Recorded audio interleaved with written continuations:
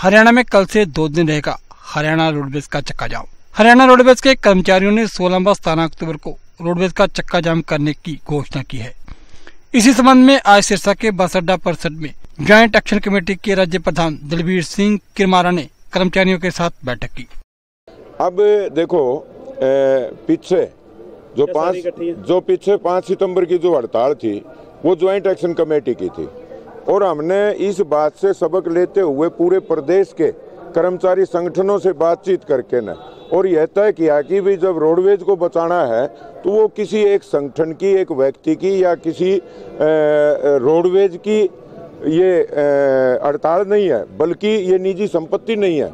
ये पूरे प्रदेश की जनता की संपत्ति है और इसको बचाने के लिए सभी यूनियनों का फ़र्ज़ बनता है कि हम एक मंच पे आके लड़ें और सभी यूनियनें आज रोडवेज़ की तालमेल कमेटी के साथ और कल 16-17 अक्टूबर को प्रदेश का पूरी तरह से चक्का जाम रहेगा।